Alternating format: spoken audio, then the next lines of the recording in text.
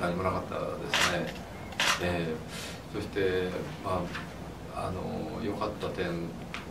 と言いますとあの僕はあの結婚してま25年目になるわけですけれどもずっとその間蘭さんの仕事ぶりも見てましたしあの素晴らしい女優さんであるというふうにこうずっと思ってきたわけですけれどもだけど夫婦ですからそのもしかしたら僕たちもこれで一生仕事をすることはないのかもしれないという思いもあったのですが今回、えー、このようなことが起きて。本当にあの良かったなと。思ってます。でこれはやはりあの出来上がった作品今感想言っていただきましたけども見て改めてああ蘭さんでよかったなというふうにもまた思いました。今回29年ぶりにあの共演させていただいて、ま、改めて思ったことなんですけれどもあの間近で豊さんのあのその役に取り組む取り組む姿勢といいますかお客様にどういうふうに喜んでもらえるかっていうことをギリギリまで常に追求している決して引かない諦めないっていうところはあのそういう情熱のような熱い思いは昔と変わらないなとそういうところが確認できたところとで、ま、撮影のその現場そのものがあの豊さんの空気によってあの俳優さんはあまり緊張せずあのスタッフの方々もだと思うんですけれどもあの割とリラックスした感じでいられるから力がちゃんと出せるっていうようなそういう雰囲気をもうすでにこう豊さんから発散しててくれるのであのそれがとてもありがたかった。あの最高のパフォーマンスだったと思います。ただあの綺麗に正義感を持って過ごしただけではなかったと思うんですね。そのやっぱりあの社会で生きていくにはということをその息子に教えていくそれはやはりこの戦争はいつか終わるんだとでもやはり生きていかなきゃいけないで終わった時に恥ずかしい人間になってはいけないということをねこう言うわけですけれどもその時にそこまで生き生きていく上でただ自分の思い通り正義感を持って過ごしていればいいということではないんだと。世の中というのはこういうものだということも同時にあの教えていってた。そそこはやはり僕はあの好きなところでしたね。ただきれい事だけは言ってなかったお父さんなんだなという。と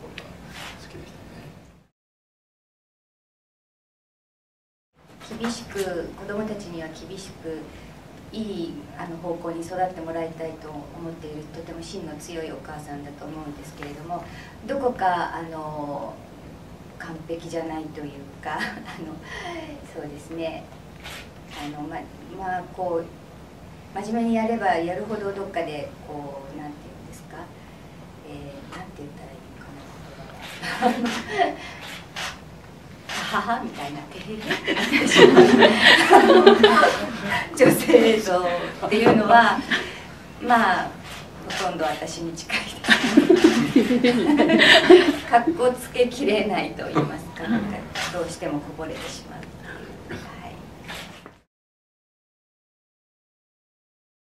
いやあの思いといえばまああのねあの戦争を知らない人には戦争ってどんなふうにこう普通の生活の中に忍び込んでくるものか、はい、でそういうことをえー、少しは知っていたけどもう忘れそうになった人にはもう一回思い出してほしい、うん、そういうことを思い思い出し知ることでしかあの戦争が始まるっていうのは遮るものはないんじゃないかなと。だからそういう面を見てほしいなというのはまあ思いといえば思いですね。だけどあのこれはやっぱし家族の話ですしうん家族がその戦争っていうあの、えー、こうは大きなもうどうしようもない大きな力に対してどどういうふうに一生懸命に逆らってたかっていうところがやっぱしあの人間っていいなっていうところだと思うんです。それがあ、まあ、この映画だと思うんですけども重いと言われれば先ほど言ったようなことがあないことはありませんでした。もうこんなことはない方がいいと思いましたね、うん、思いましたしでただ、まあ、あの人というのはいついかなる時に何かで追い詰められるかもしれません。これから先あの戦争じゃなくてもあのいろんなことが起きて追い詰められるかもしれない。でその時にあのな何かどうあったらいいんだろう。ということはあの、うん、ややはり考えざるを得ない。時が来るだろうなと。でその時に僕はその原作を読んだ時からそうなんですけれどもこの瀬能家をねちょっと誇らしく思ったんですね。でそれはその当時あのあんなふうにしてこう生活してああいう思いを持って生きてた人がいたんだ。でそれもまたユーモアもちゃんとありながらね過ごしてたということに日本人としてちょっと誇りをちょっとも持ちました。そうですね。やはりあの出来上がったあの作品を見てあんなに美しかったあの空があの爆撃機がやってきてもう本当にじわじわじわじわあの胸に迫る怖さっていうのを感じてどうしてこんな方向に人が人々が行ってしまったんだろうっていうことは今の私の年齢でもっとちゃんと知りたいなって私は個人的に思いましたしまたこれを見てあのそうですね何何かもっとこう当時のことを知りたいとかいう子どもたちがいたとしたらあのお父さんに聞いたり家族に聞いたりっていうそういう話し合う きっかけのような糸口のようなものにもなってくれたら嬉しいなとちょっと思ったりしながらはい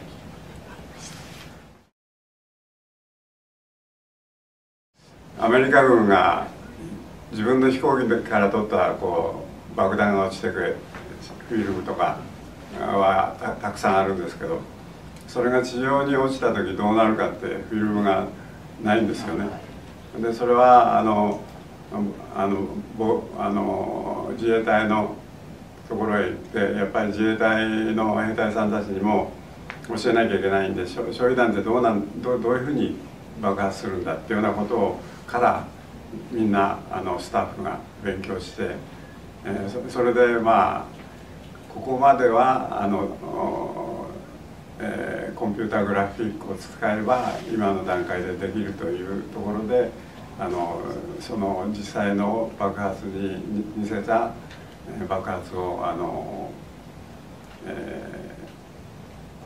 ー、まず人にぶつかるとか何かっていうと本当本当の火は使えませんよね。ですから